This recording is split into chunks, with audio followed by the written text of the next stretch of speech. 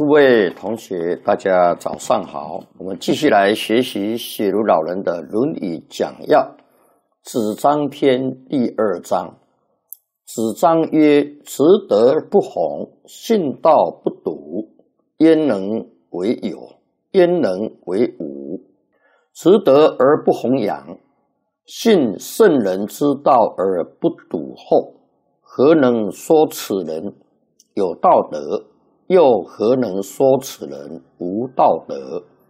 这个子章篇啊，第二章，这章书啊，讲值得而不弘扬啊，直这个道德啊，而不去弘扬。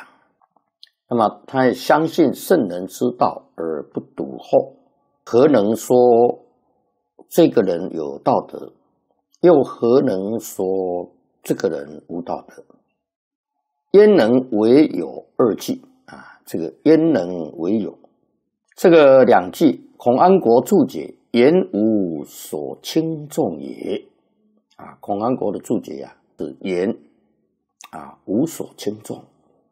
皇叔事无此人，则不足为轻；事有此人，亦不足为重。故云无所轻重也。这个黄侃的著书啊，啊，就是说世间没有这个人，则不足为轻；啊，世间有这个人，也不足为重。啊，所以说无所轻重也。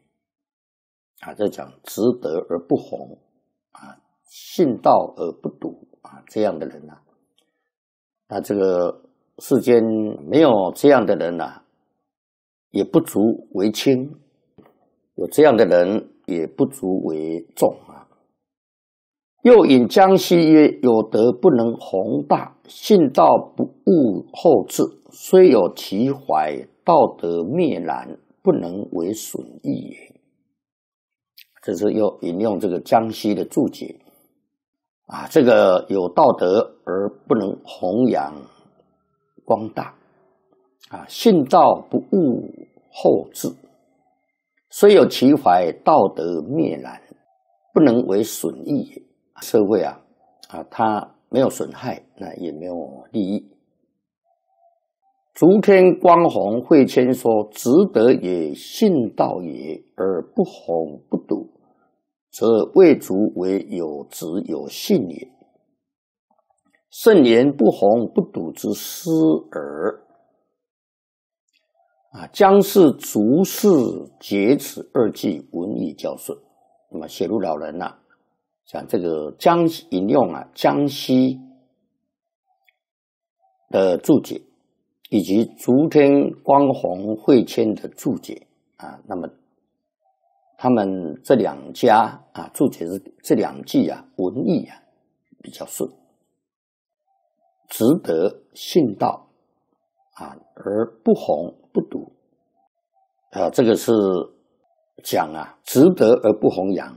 那么他也相信圣人之道而不笃厚，那这个人是有有失了啊。就是说，这个人，呃，你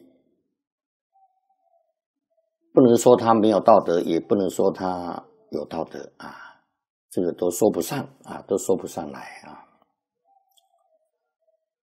啊，所以这个道德啊，啊，还是要去弘扬光大。好，这章书我们就学习到这里。祝大家福慧增长，法喜充满。阿弥陀佛。